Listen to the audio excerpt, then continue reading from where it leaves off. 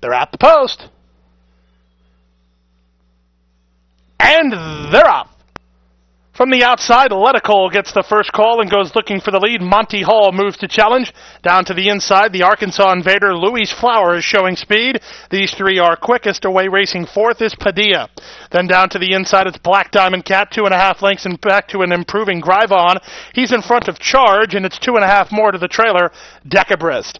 They run down the backstretch, chasing the speed of Letical, who leads at three parts of a length. Monty Hall is second. Louis Flower is on hold for Prado third, within three of the lead. Two lengths back to the outside, and Padilla, who's now fourth in front of Black Diamond Cat in fifth, racing sixth now and trying to improve his Grivon, two and a half in front of an inside running charge, and five lengths to the trailer Decabrist. They went the opening quarter in 22 and 4, and they run around the far turn.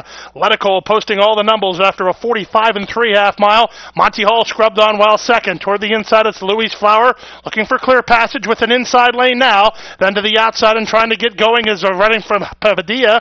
Flattening out is Grivon, and they still have to reel in Letico. 45 and 3 for a half mile. Letico leads into the stretch by three. Louis Flower is second. Monty Hall is next. Down the outside, it's Padilla, but nobody making significant inroads on Letico. Letico will win the Thursday feature, and he never faced a serious threat. Letico widens the advantage late. He's wrapped up by Pedro Cotto, and he's five or six in front. It's going to be Monty Hall second. It's a picture for third between Padilla and Louis Flower in 122 and 3.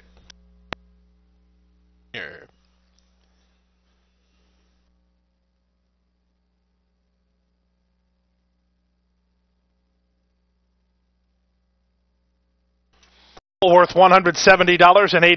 The pick three, 204.10. The exact is 72.60.